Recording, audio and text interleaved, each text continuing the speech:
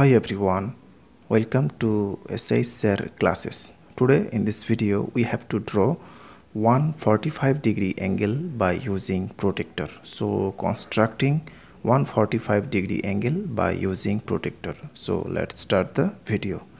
First of all draw a line of any length here.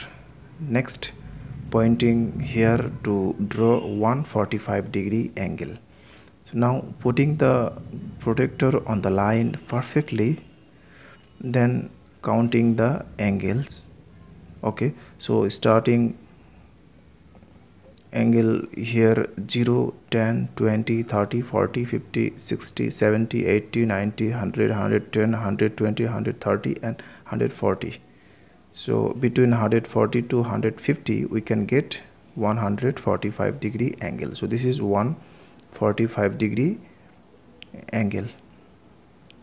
Okay. Now joining this to get 145 degree angle.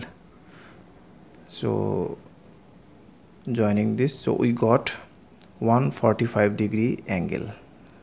So this is 145 degree angle.